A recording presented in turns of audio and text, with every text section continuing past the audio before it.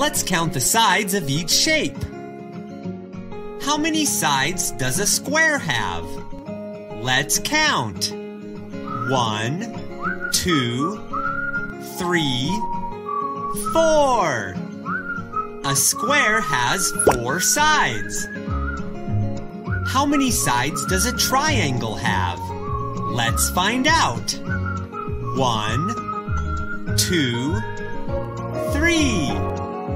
A triangle has three sides.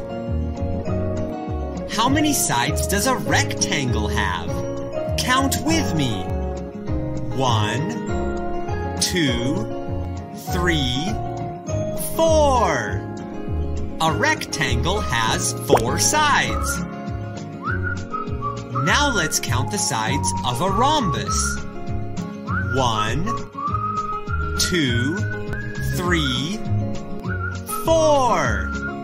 A rhombus has four sides. Now let's count the sides of a pentagon. One, two, three, four, five. A pentagon has five sides.